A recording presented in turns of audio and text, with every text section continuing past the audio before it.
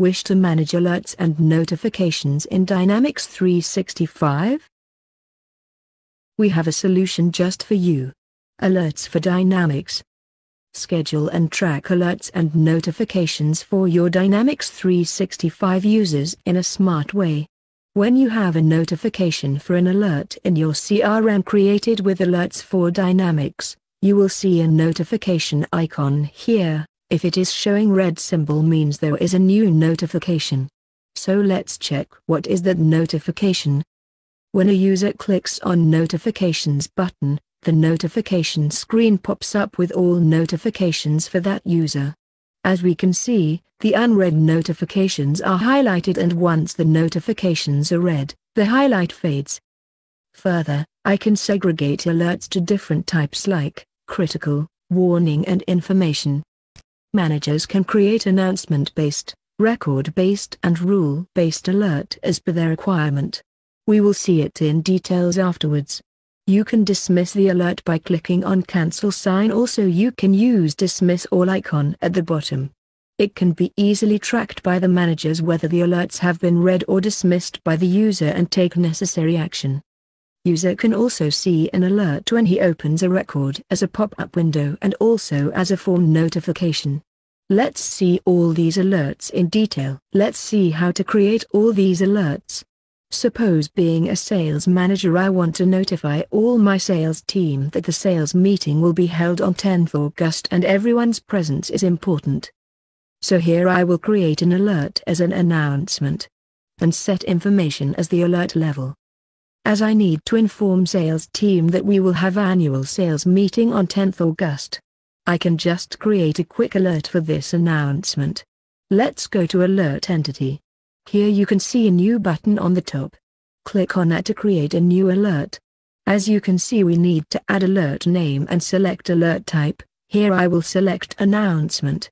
Once you click on the save button new window will pop up, which will ask you to add new message that is what message you want to show on this alert. Here let me add alert name. Then I need to specify the message which I want to show to the user. In alert level you need to specify whether it is information, warning or critical alert. Here you need to mention if you want to show alert as form notification or pop-up or email notification.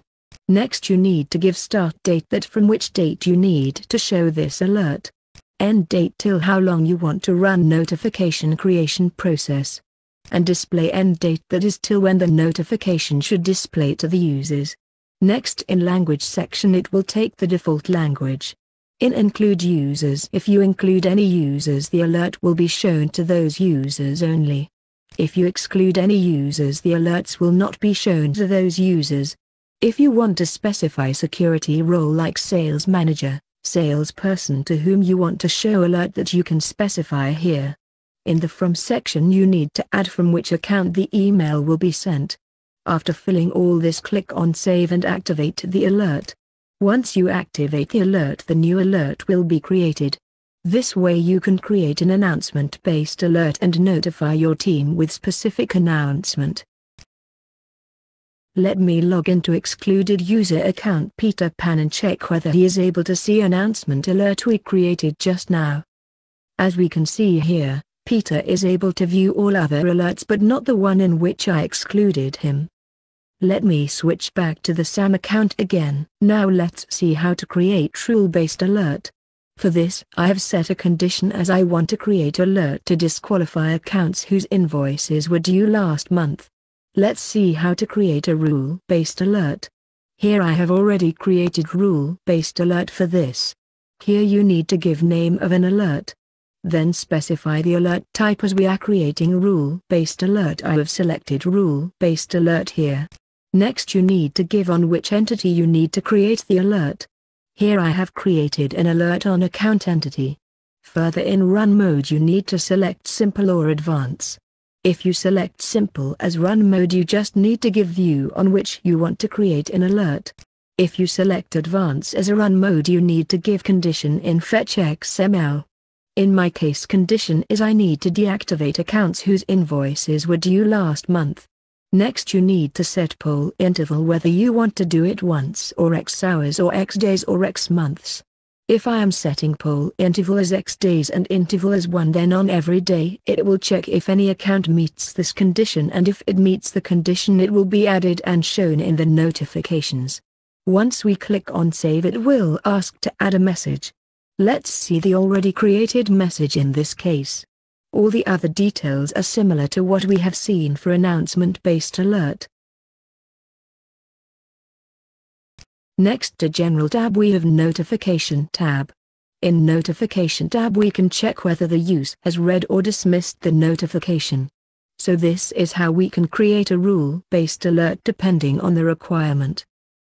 Further, suppose there is something my team needs to know before interacting with a particular account.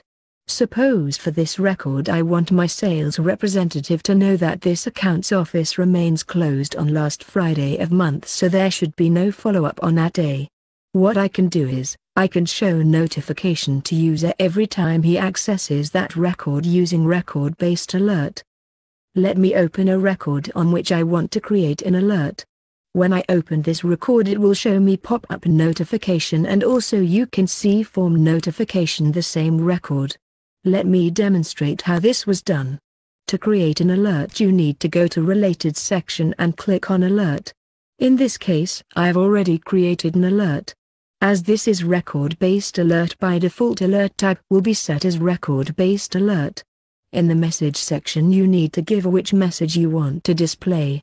Here as I want to notify my sales team that office remains closed on last Friday of every month I will add this message.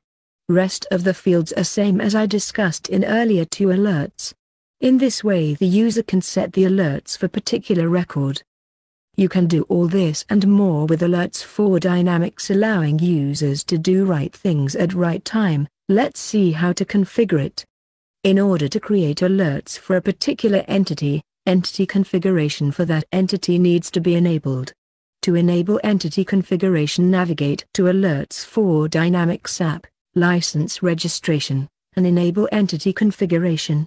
Users can select the entities from the list of available entities and move them to the list selected entities and save. To view the entity configurations go to Alerts for Dynamics app, Entity Configurations where all the enabled entity configurations can be viewed.